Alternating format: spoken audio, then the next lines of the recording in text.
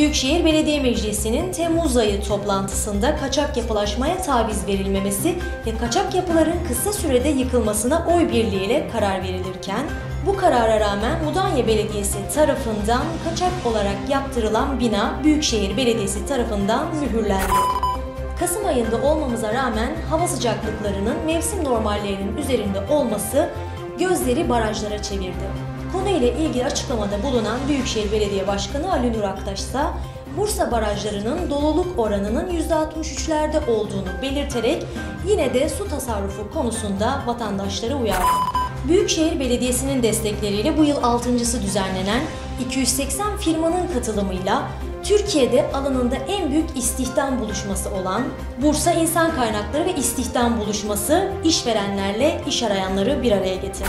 Osman Gazi Belediyesi Bursa'nın doğal güzelliklerinden biri olan Dağ Yenice Göleti'nin Doğancı Mahallesi sınırları içerisinde bulunan prefabrik yapıları yıktı. Yıldırım Belediye Başkanı Oktay Yılmaz, Fidye Kızık Spor Tesisini yeniden ayağa kaldırmak için Gençlik ve Spor Bakanı Mehmet Muharrem Kasapoğlu'nun desteğini aldı.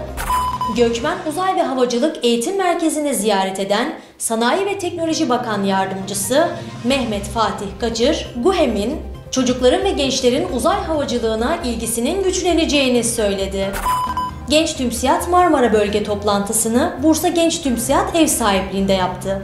Toplantıda 2020 yılının yol haritası belirlendi.